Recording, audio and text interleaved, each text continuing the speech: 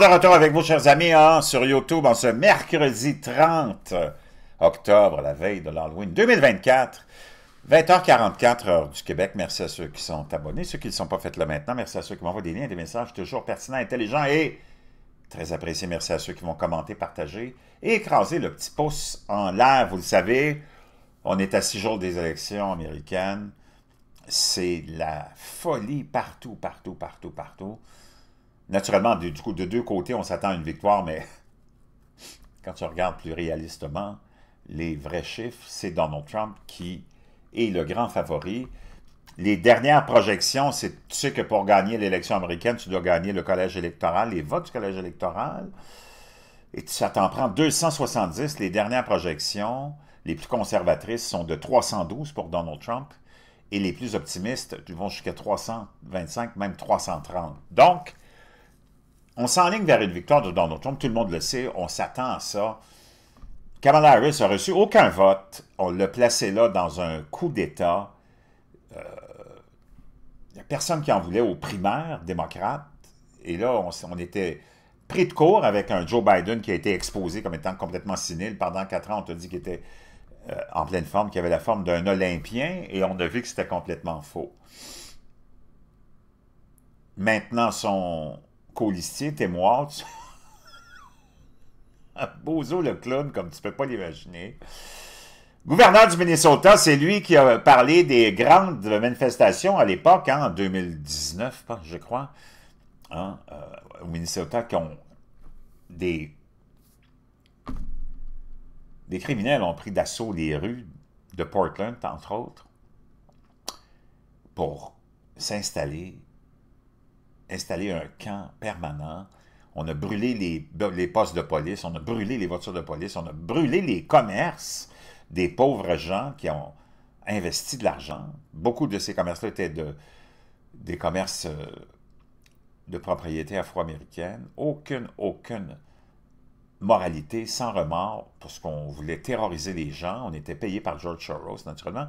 Et Tim Walz disait, en tant que gouverneur de l'État, c'est des c'est la démonstration de la démocratie. Et c'est lui-même, le même Walz, qui a installé des distributrices de tampons chez, dans les toilettes pour hommes. Tout le monde avait suggéré à Kamala Harris de choisir Joe, Josh Shapiro, qui est un, je pense, un élu euh, de New York, ou un juif très euh, respecté. On est allé avec ce clown-là. Donc, ça, aussi déplu à beaucoup, beaucoup, beaucoup, beaucoup de démocrates. Maintenant, beaucoup de conspirations. Hein, on a vu des, des, euh, boîtes de vote hein, euh, anticipées, des boîtes où tu peux aller déposer tes bulletins par euh, la poste aussi, qui ont brûlé dans plusieurs endroits. Je vous ai montré ça hier ou avant-hier. Maintenant, ce que je vous partage là, il n'y a personne qui en a parlé encore. Je vous ai parlé aussi de la CIA et d'un ancien conseiller de la CIA qui parle de probablement une espèce de loi martiale qui pourrait être imposée, parce que quand Donald Trump va gagner mardi prochain, ou les jours qui vont suivre, on va le déclarer gagnant, peut-être que tu ne l'auras pas le soir même, le résultat, mais il y a des fortes chances que ça soit tellement gros que tu aille le résultat ce soir-là, parce qu'on veut essayer de restaurer l'image aussi des élections américaines, parce que l'élection de 2020 a laissé beaucoup, beaucoup, beaucoup de mécontentement et de doute dans l'esprit de tout le monde, qu'on va essayer de corriger euh, cette perception-là en déclarant le gagnant le soir même. Maintenant, le soir de l'élection jusqu'à l'inauguration, qui est le 20, absolument autour du 20 janvier, il reste six mois où le gouvernement Biden est encore au pouvoir et c'est lui qui gère tout avec l'État profond. On pourrait, avec l'aide de George Soros et de gens comme ceux-là, très mal intentionnés, provoquer un chaos total suite à, naturellement, la victoire de Donald Trump qui ferait tomber en crise d'hystérie toutes les gauchistoïdes et avoir une perturbation et créer une perturbation tellement grande qu'on soit obligé de déclarer, par exemple, comme le suggère cette personne-là, une loi martiale qui ferait que, temporairement, tu retardes ou même peut-être t'empêches Donald Trump d'être inauguré. Et euh, il y a même, ça, ça circule beaucoup, cette idée-là. Ils ne s'arrêteront pas, cela pourrait mal tourner. L'élection n'aura lieu que dans six jours et les démocrates sont prêts à passer à l'étape suivante de leur plan lorsque Kamala Harris perdra. Avec l'élan de Trump qui monte en flèche, le seul chemin vers la victoire pourrait être de truquer l'élection en leur faveur. Et quand ils le feront, l'enfer se déchaînera. Il suffit d'écouter ce que le représentant démocrate Jamie Raskin a récemment déclaré aux médias. Ce sera à nous, le 6 janvier 2025, de dire aux foules déchaînées de Trump qu'il est disqualifié. De quoi il parle, là? Ils vous disent exactement ce qu'ils prévoient de faire. Et selon l'ancien conseiller de la CIA, du Pentagone et de la Maison-Blanche, Jim Rickards, une obscure loi de 1866 signée par le Congrès après la guerre civile pourrait sceller le sort de l'élection présidentielle de cette année. La plupart des Américains n'ont jamais entendu parler de cette loi, mais les démocrates prévoient l'utiliser pour empêcher Trump de prendre le pouvoir. Même s'il remporte l'élection dans quelques jours, c'est pourquoi Jim Rickard prévient chaque Américain de se préparer à un effondrement électoral de proportions bibliques. Wow! Après avoir correctement prédit la grande récession de 2008, l'élection de Trump en 2016, la crise du COVID en 2020 et le retrait de Biden de la course, ce qu'il a fait dix mois avant que cela ne se produise, il prédit maintenant que cet effondrement électoral à venir déclenchera un crash boursier de 50% l'effondrement final du dollar américain, de violentes émeutes dans les rues et même une potentielle loi martiale avec la suspension temporaire de certains de nos droits les plus fondamentaux c'est pourquoi Jim a récemment publié son briefing le plus urgent de tous les temps. Donc, je peux te dire une chose, wow! Et ça m'amène à te partager la nouvelle suivante. Dimanche dernier, lors d'une diffusion d'une chaîne affiliée à la ABC, on a, pendant la diffusion d'une course, on a fait défiler un résultat de d'élection dans la Pennsylvanie, qui est un État clé, un battleground, où on donne Kamala Harris gagnante à 52% et 47% Mais c'est complètement bidon. Mais on a fait ça. La chaîne affiliée à ABC diffuse par erreur les résultats des élections, suscitant des théories du complot. Wow, tu le vois ici. Wow. complètement cinglé. Parce qu'on est, naturellement, on prétend que c'est une erreur, qu'on est en train de faire des tests pour s'assurer que toutes les chaînes affiliées soient capables de manœuvrer avec les, les résultats, les défilements en bas d'écran. tu le sais que c'est fait dans un seul et unique but, c'est d'essayer de décourager les voteurs républicains en pensant que l'élection est complètement truquée.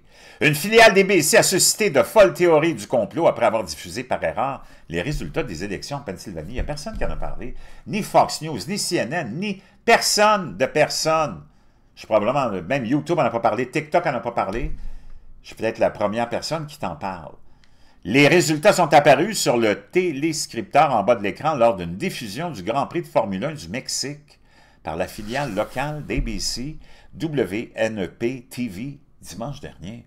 Il a montré que Kamala Harris remportait l'État de la Pennsylvanie avec 52% des voix, tandis que la part de Donald Trump était de 47% Cela a immédiatement suscité des allégations de fraude électorale sur les réseaux sociaux.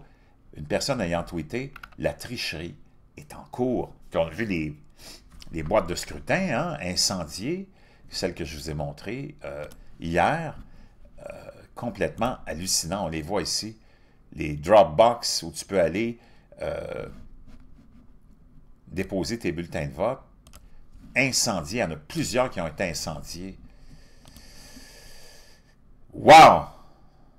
Cela immédiatement... WNEP TV a déclaré que les chiffres étaient apparus à l'écran par erreur et qu'ils avaient été générés de manière aléatoire dans le cadre d'un test avant, avant la soirée électorale du 5 novembre. Les résultats sont apparus sur le télécopieur. Wow, Kamala Harris salue ses partisans, blablabla. Trump mène actuellement l'État avec 6 dixièmes de pourcentage d'avance dans la moyenne des sondages les plus importants de Real Clear Politics. Si on parle de la Pennsylvanie. Biden a remporté la, Pennsylvanie par la plus faible marche en 2020, battant Donald Trump par 80 000 voix, soit 1,9 17 Les démocrates ont accusé Trump et ses alliés d'avoir préparé le terrain pour contester une défaite potentielle en attisant les doutes sur la légitimité, de l'élection. Il a décrit les démocrates comme des tricheurs qualifiés de corrompus les bulletins de vote par correspondance et exhorté ses partisans à voter en si grand nombre que l'élection soit trop grande pour être ou importante pour être truquée. Too big to be rigged. En réponse à l'émission de WNEP TV, une personne a écrit sur X si les mêmes graphiques apparaissent après le 5 novembre avec les mêmes pourcentages et le même décompte des voix, ce sera extrêmement suspect et les médias se demandent pourquoi personne ne leur fait confiance. Un autre a déclaré ABC triche pour le compte de la machine démocrate. Leur licence devrait être révoquée. Dans un communiqué, le diffuseur a déclaré ces chiffres n'auraient pas dû apparaître à l'écran et c'était une erreur de WNEP qui l'a fait. Les chiffres vus sur l'écran étaient des résultats de tests générés aléatoirement et envoyés pour aider les organismes de presse à s'assurer que leur équipement fonctionne correctement avant la nuit des élections. Ces chiffres ne reflètent pas le décompte réel des votes.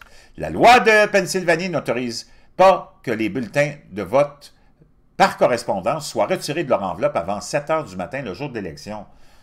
Et aucun vote, de quelque nature que ce soit, ne sera compté en Pennsylvanie avant la fermeture des bureaux de vote à 20 heures. WNEP regrette cette erreur et s'excuse pour toute confusion. Nous avons pris des mesures pour nous assurer que cela ne se produise plus. ABC a déjà été attaqué par Trump et ses partisans pour sa prétendue partialité lors du débat présidentiel du 10 décembre. Euh, du 10 septembre, pardon. Les commentateurs conservateurs ont affirmé que les modérateurs vérifiaient continuellement les, faits de Trump en donnant un laissez-passer gratuit à Kamala Harris. Ça, on le savait, puis on s'en doutait, mais vraiment très étrange. Peut-être que es le premier, je suis le premier à t'en parler, mais c'est très, très, très important.